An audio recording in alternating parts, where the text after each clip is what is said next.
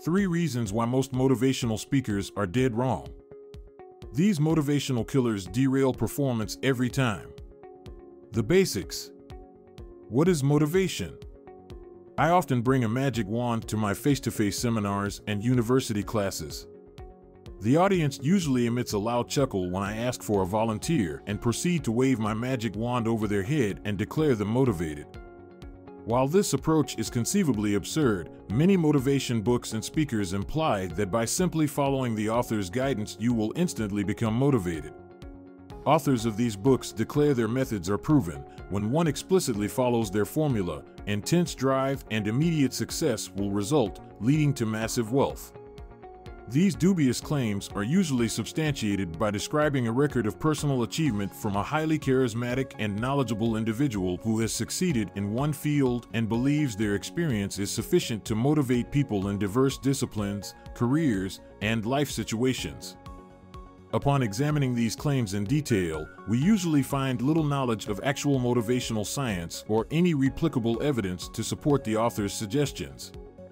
Most of the secrets revolve around speaking, thinking, and acting like the author. Do as I do and you too will succeed is essentially their mantra and motivational wisdom.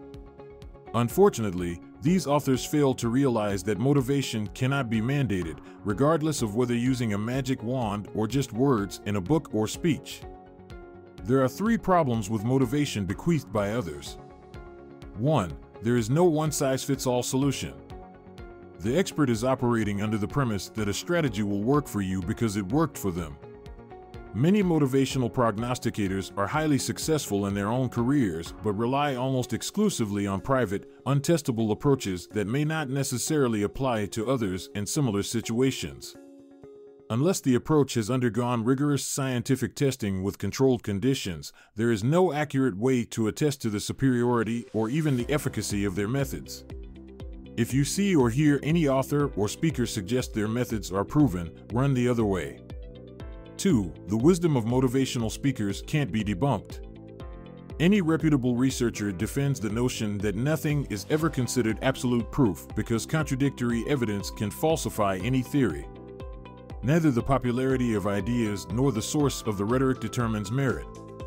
If you recall from high school history and science, for centuries many people believed the earth was flat and slavery was an appropriate way to staff a growing colonial business. In the 1800s, medical illnesses were inappropriately diagnosed by examining the shape of the patient's skull. These prevailing theories and strategies of the time were debunked when undiscovered evidence was subsequently realized. Ironically, when a motivational huckster's proven formula fails to work, the user is often blamed for not following the prescriptive formula or chastised because they are a non believer. 3. Motivation is in flux. Third, as readers of my forthcoming book, Hack Your Motivation, will learn, diagnosing and mediating motivational challenges cannot be achieved through generalizations.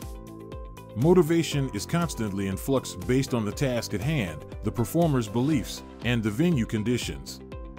Beyond that, motives rapidly evolve owing to task progress or failure. In other words, motivational solutions will change based on the person and problem.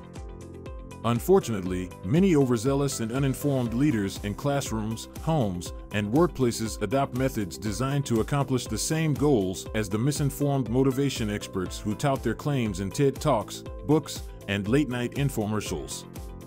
Often relying on authority, these well intentioned leaders consider themselves coaches. They point out motivational deficiencies, provide support and encouragement, and describe idealistic behaviors implying absolutely anyone can magically transform performance.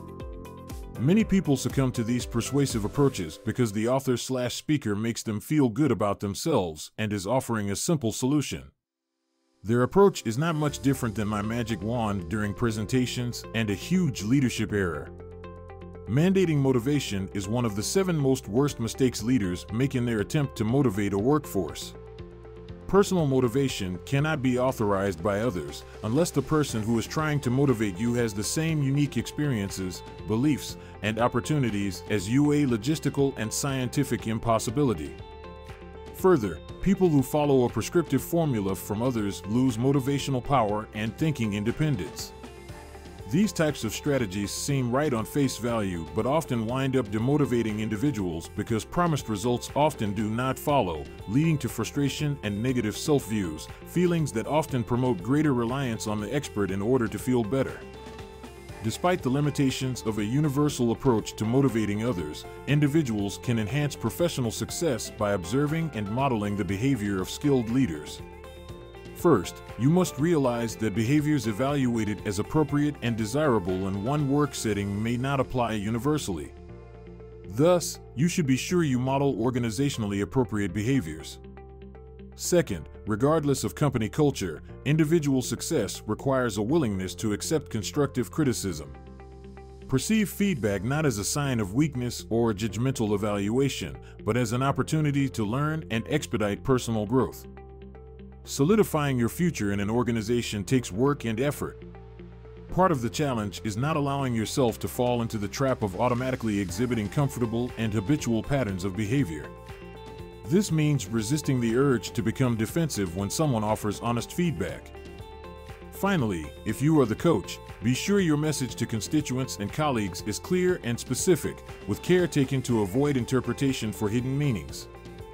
The individual must perceive your message as relevant and you, the leader, as a credible and trustworthy source, or the probability of serious consideration or even temporary adoption of suggestions will be extremely limited.